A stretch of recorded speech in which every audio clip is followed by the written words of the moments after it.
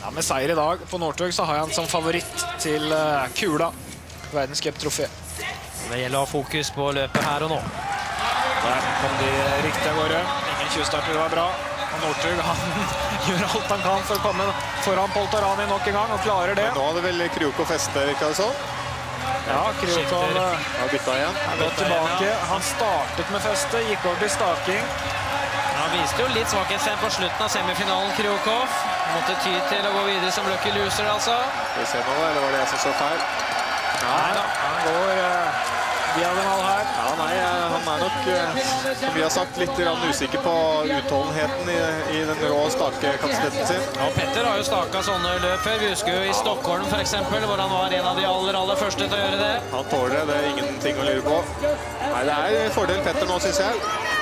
Ja, jeg er mest spent på de siste 50 meterne, for da kan det hende at det kommer en som er kule diagonal. Verre med Jon Christian Dahl og Øystein Pettersen nå. De blir gått fra av de fire fremste i denne bakken. Ja, det ble mange meter.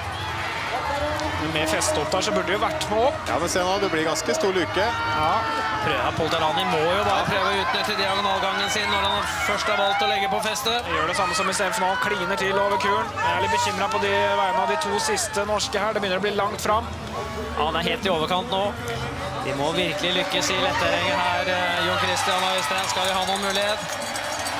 Fester skal kunne gli inn eh, den avstanden, og Krukov ja, han må ha et forsprang på Palterani når 50 meter gjenstår. Ja, De kan vel være ganske litt inn på oppløpet, vil jeg tro, men eh, bør ha en luke, da, de som ikke har feste før de siste 30-40. Jeg tror Kryokov får det for tungt nå. Det står mellom eh, Petter og Alexei. Ja, Petter roer ned i rygg på Polteranien. Han har visse fantastisk fine stavtakene. Ja. Han stjeler så mange meter. Polterani vant altså den klassiske sprinten i Davos før jul, så det er ikke bare bare å komme seg forbi han heller. Northug ser at han har kontroll på resten av feltet. Han får spart litt krefter her, Thomas. Ja, han gjør det. Han ligger perfekt nå. Og russeren holder på å falle. Da faller han i så fall for eget grep, for det er ingen i mils omkrets. Skal vi få norsk seier i dag, så er vi avhengig av Petter slår til. Ja, han må slå til på de første 100 meterne. Han må forbi nå. det svakeste partiet. Han må forbi. Jeg syns ikke han får med seg maks fart inn i sporet, men nå kommer han. Han må forbi her. Opp på siden og forbi Poltarani. Nå må han luke før uh, han kan gå over i diagonalgang, kasakhstaneren. Ja, og nå går Poltarani over i diagonal.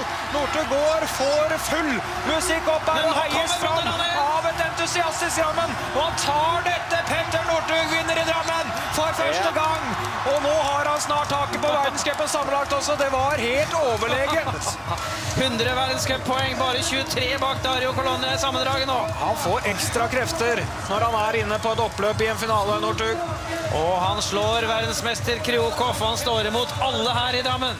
Nå er han bare 23 poeng bak Dario Colonia, som har stått over de to siste løpene, og da har Northug tatt 200 poeng.